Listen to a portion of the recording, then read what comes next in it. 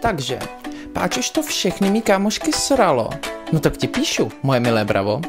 Přestože pár redakcí odpověď už vzdalo, neuvěříš, co se mi zase stalo. Takže, je mi 13 a jmenuji se Lenka, ale kluci ze třídy mi přezdívají Fenka. No, zažila jsem včera od mýho psa opíchání, takže se mi jakože teď narodí, jakože ten Jacob ze stmívání.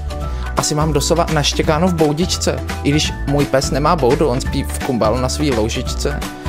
Nechci být v tom, aby otcem byl pes, normálně šukám s kondomem, ale pro tentokrát bez.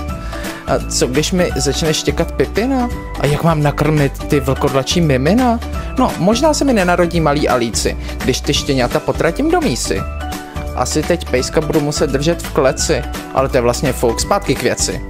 Takže stalo se to tak, uklouzl jsem ve sprše, když jsem se byla koupat a náhle se mé tělo začalo rytmicky houpat.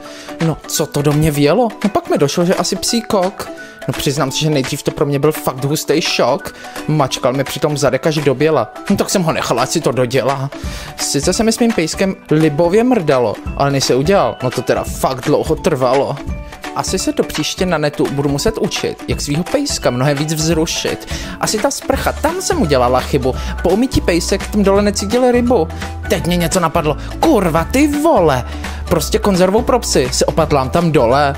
Chci, aby mě vymrdal, abych nemohla chodit. Ale žádný štěňata mu nechci rodit. A co takhle spíš dát si Edvarda?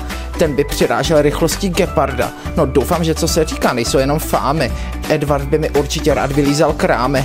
Ono by se totiž neslyšelo na upíra, aby byla zanedbaná i moje díra.